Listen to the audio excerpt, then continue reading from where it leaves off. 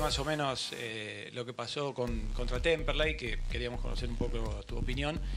Yo te quiero preguntar por el partido de Temperley este, eh, ¿por qué mm, pensás que bajó tanto el nivel futbolístico de River? Hoy prácticamente no, no pateó al arco, algo que es curioso en, el equipo de River.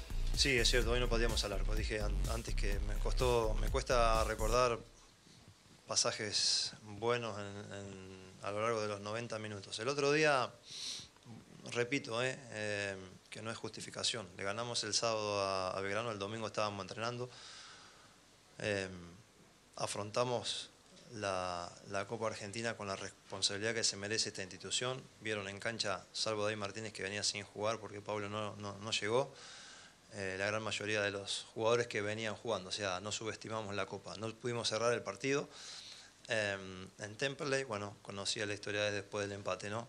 Y hoy, hoy nos costó, nos costó muchísimo el partido. Eh, pocas veces hemos jugado como, como hoy, donde no hemos eh, juntado asociaciones, que es algo que nos caracteriza, ser dominante a través de la posesión.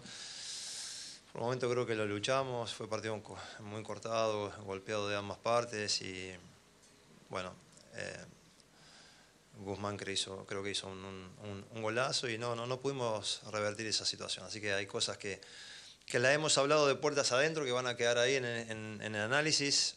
Lo he hablado con los jugadores, incluso también con los dirigentes. Estamos acá para hacernos responsables, para doblegar esfuerzos, empezando incluso por mañana de volver a entrenar.